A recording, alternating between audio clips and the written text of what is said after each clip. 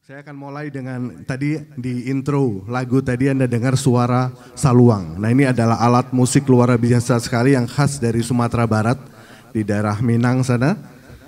Dia sangat spesifik karena lobang semua ya Mas Putut ya. Nah ini, nah ini bolong semua nih. Jadi nggak gampang untuk membunyikannya. Jadi kalau Anda coba dijamin bunyinya cuma suara angin doang gitu nggak bakal ada suaranya.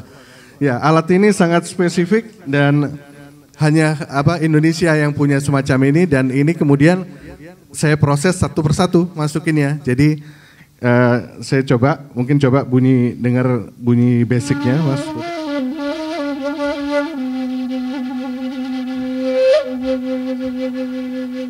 Ya, jadi yang Anda dengarkan tidak seperti flute atau suling biasa. Dia ada wong, ada apa istilahnya fu-nya tadi ya.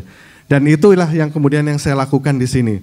Per not dan tidak hanya per not tapi data itu saya capture semua ekspresi dari dia, cara meniup dia itu.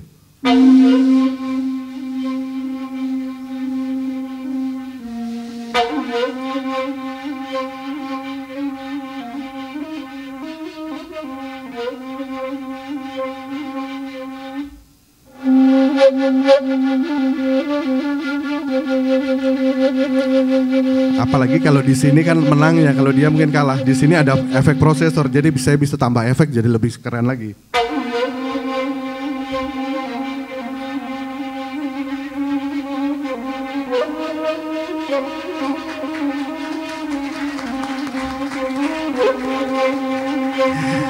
Ya, kayak gitu. Jadi suara saluang sekarang sudah berada di dalam sini. Dan kemudian di Minang juga ada yang terkenal lagi, namanya sampelong. Ya, ini sebetulnya juga mirip juga. Nah ini khas nih dia dengan ukirnya begitu ya. Ini dia punya sound yang juga berbeda lagi, sama-sama tiup ya, sama suling bisa diperdengarkan mungkin Mas Butut. Lebih soft ya.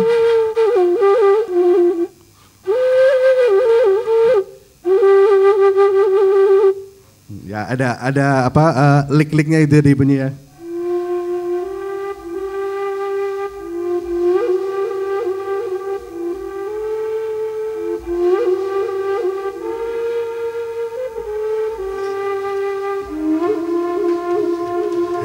Jadinya kayak malah bagisan ini ya Pak. itu sampelongnya. Kemudian ada satu lagi yang kecil, kalau ini namanya bansi ya. Bansi ini juga unik bunyinya beda lagi. Coba didengarin.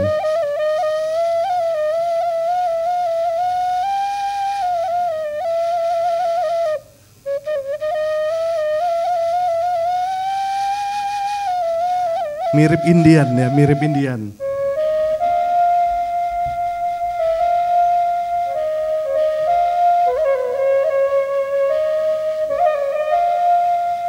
Jadi saya punya di sini namanya DNC, saya bisa mainkan dia lik-liknya tadi saya simpan di sini.